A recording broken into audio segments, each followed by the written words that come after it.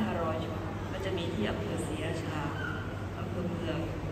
บ้านบึงแล้วก็มีพนักงานนะคะรวมทั้งสิ้นคือ2,000 ชุด เป็นมูลค่า7แสนบาทในนามของกอติ๊กตึ้ใกล้องเกาะ